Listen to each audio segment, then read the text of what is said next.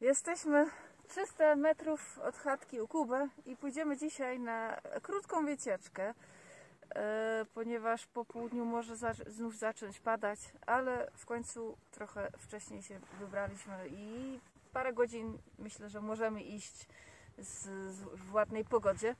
E, W komentarzach e, pytaliście, jakie wycieczki można stąd robić. Oczywiście jest bardzo dużo możliwości, więc dzisiaj taka, taką, taki jeden wariant Wam pokażemy. Pójdziemy do e, Krzyża Vincenza. On jest gdzieś w tą stronę, ale pójdziemy tak trochę dookoła. To jest, on stoi w miejscu, gdzie e, mieszkał, albo letni dom mieli, coś takiego. I e, miejscowi i Towarzystwo Karpackie e, razem e, postanowili upomien... Upamiętnić. upamię- Upamiętnić.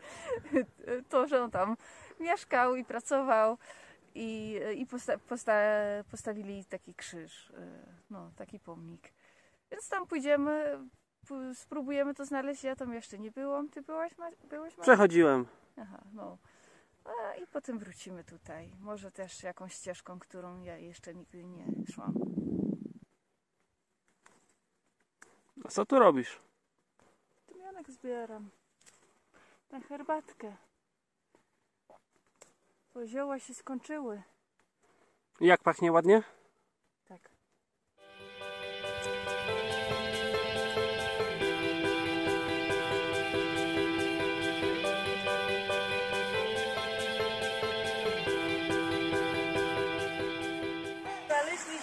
Źródło. No, on pewnie już, ono pewnie już było, ale ja go nie znałam. Ale zobaczcie jaka, jaka ilość wody tu pływa, po prostu rzeka. Po prostu są jakby trzy punkty. Tutaj, tutaj bardzo dużo i jeszcze z tej strony i robi się z tego całkiem spora rzeka.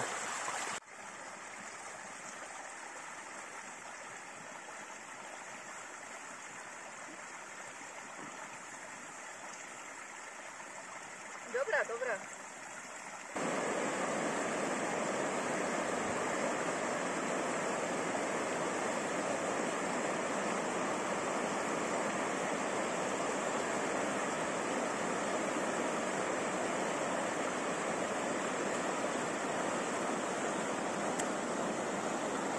Hej, jesteśmy, słuchajcie, yy, w Dolinie Bystrecu. Yy, Tam, gdzie jest sklep, cerkiew, to jest jakieś 2-3 km za nami. A my po prostu zeszliśmy troszeczkę inną drogą. Yy, To, co widzieliście koło źródełka. No i teraz przez tą rzeczkę, gdzie niestety jest zerwany most, no po tych powodziach, które tutaj były tak niedawno. A teraz idziemy w kierunku Gadżyny, czyli tak cały, cały, cały czas w górę doliny i ja myślę z 2-3 km będziemy skręcać w prawo. Oczywiście Wam pokażemy. Przed chwilą spotkaliśmy taką ba- babcię, która nas pyta- zapytała, gdzie idziemy. Ja powiedziałam, że no chcieliśmy do krzyża Vincenza, a ona pyta, a win żywe? On żywy? On żywy? Nie, e, z tego co wiem w 71 już umarł. Ale e, miejsce, gdzie dom jest, jest jakoś oznaczone. E, Ona nam powiedziała, że dojdziemy tutaj do jakiegoś budyneczku i tam trzeba skręcić w prawo, no a tu jest taka ścieżka, więc myślę, że to jest tutaj, ale tak naprawdę na mapie nic nie możemy znaleźć, więc nie wiemy dokładnie, gdzie to jest. I spróbujemy pójść e, właśnie tą ścieżką tutaj, mniej więcej tam do góry. I zobaczymy, czy to jest tam. No, na mapie jedyne, co Maciek na jednej mapie znalazł, to, że to są jakieś domki, więc może. Musi Tego być- domu na pewno już nie ma, ale, ale jakaś wioska tam była. Musi być trochę przygody. Tak. No to idź.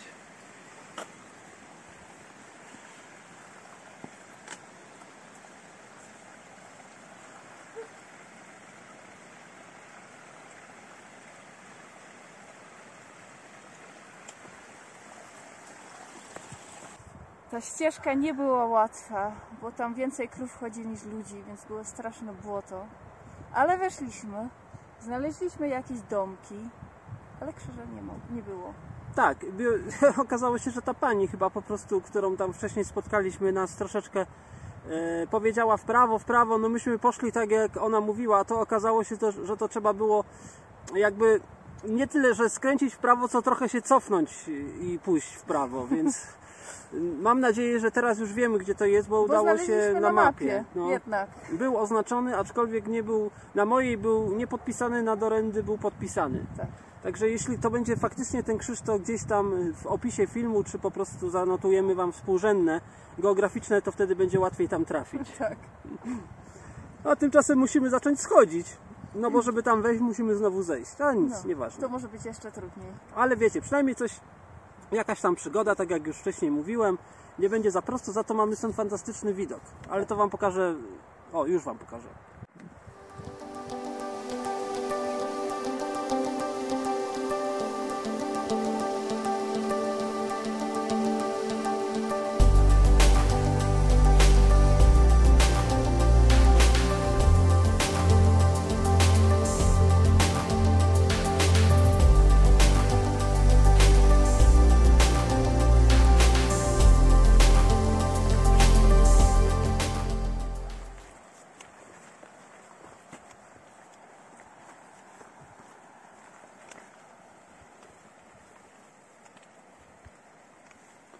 No więc zeszliśmy, cofnęliśmy się trochę po drodze w stronę Bystrecu. A według mapy tu za nami niby 100 metrów od drogi jest ten krzyż, ale go nie ma. I zapytaliśmy dwie osoby i wszyscy mówią, nie, to nie tu, to w tę stronę i okazuje się, że babcia miała rację, tylko że trzeba iść trochę dalej. Tam jest znak że jest jakiś rezerwat przy- przyrody, że nie ma wstępu, ale trzeba iść jednak przez ten rezerwat i tam skręcić, więc idziemy znów tam. No więc do trzech razy sztuka. Babcia mówiła, że mamy przejść koło małego domku. Oto i mały domek. I iść cały czas prosto, prosto, prosto. A potem skręcić w prawo. I tak też uczyniliśmy. Tylko, że za pierwszym razem skręciliśmy w prawo tu. Ale teraz rozmawialiśmy z miejscowymi i powiedzieli, żeby iść prosto. I dopiero z jakieś 200-300 metrów skręcić w prawo. Także popatrzcie, czego myśmy się wcześniej przestraszyli troszeczkę. A mianowicie to jest taka tablica, na której jest napisane stop, nie ma przejścia ani przejazdu. Dlatego stwierdziliśmy, że to musi być gdzie indziej. Ale wszyscy mówią, że tu spokojnie można przejść. No więc przechodzimy i tropimy dalej.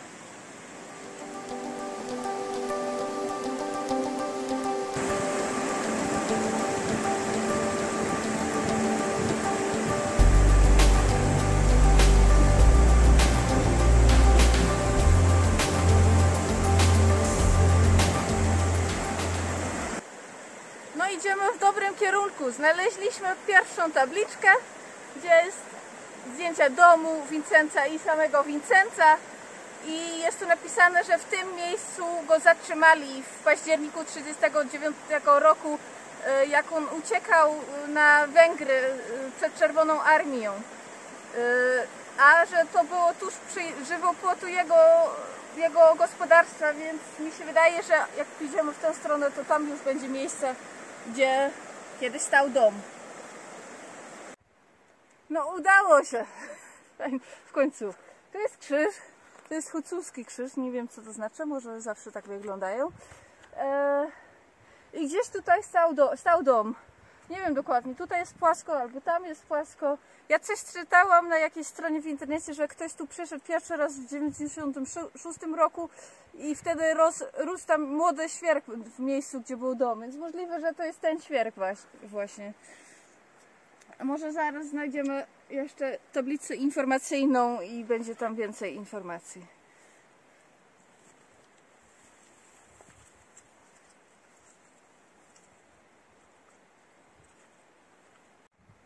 Hej, ja się też słuchajcie bardzo cieszę, że tutaj dotarliśmy, bo no ile razy tu przechodziłem, ale jakoś nigdy nie byłem w tym miejscu.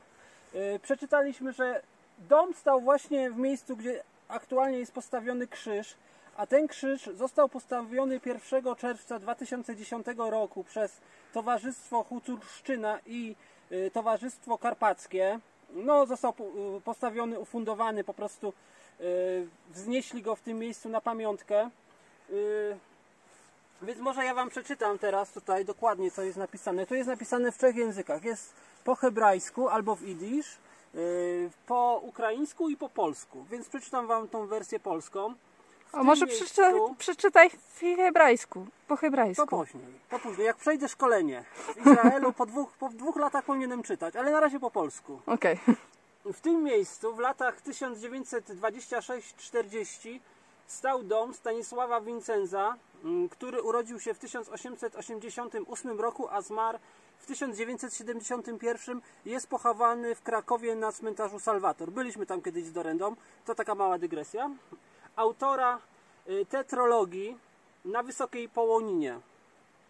Tu została spisana opowieść o dawnej Wierchowinie, świecie mądrym, dobrym i szczęśliwym. I y, tak musicie poznać, czy jeśli nie znacie, zapamiętać Stanisława Wincenza. Był to y, literat, spędził tutaj y, cudowny okres swojego życia.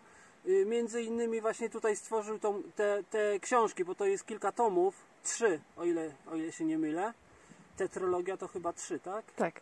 Nie, cztery. Czy cztery? Pięć. Tak, Pięć. cztery. No, nieważne. Kilka na pewno. Nie musimy wszystko, wszystkiego idealnie wiedzieć. W każdym razie jest związany z tą okolicą i ci ludzie, którzy tutaj mieszkają do tej pory, wspominają go. Nawet jeśli go oczywiście osobiście nie znali, chociaż zmarł w 71, więc mogli być ludzie, którzy go osobiście znali, ale na pewno żyje gdzieś w ich pamięci, jest przekazywana historia z, z ojca na, dziecka, na dziecko, z, z dziadka na, na wnuczka, więc bardzo fajne. Jest dobrze kojarzony oczywiście.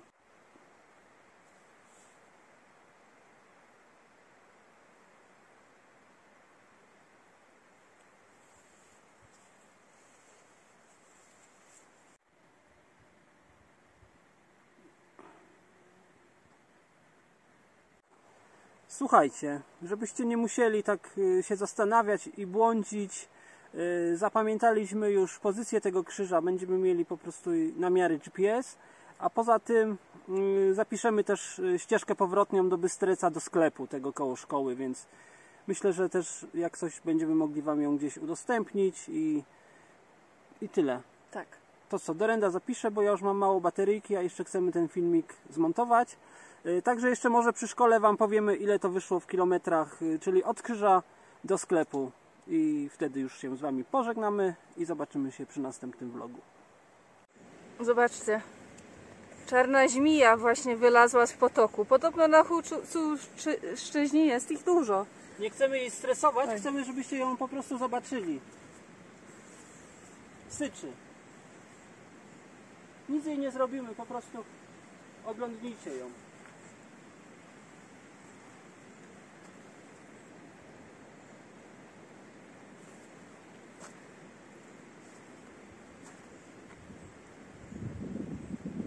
A wcześniej już widzieliśmy zaskrońca, ale szybko uciekł.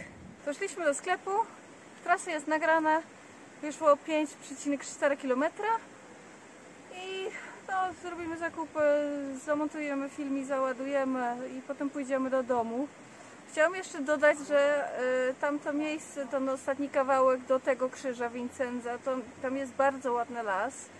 I y, to też jest niedaleko od szlaku, który prowadzi na Szpyci.